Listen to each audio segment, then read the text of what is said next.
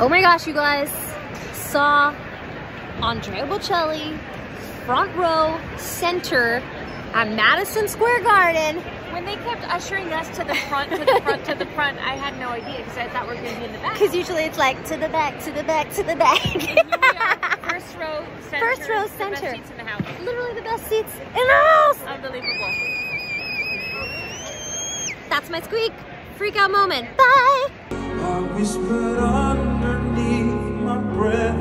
You heard it.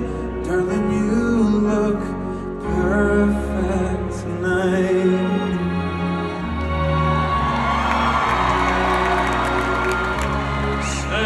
Mia donna, la forza delle onde del mare. Cogli i miei sogni,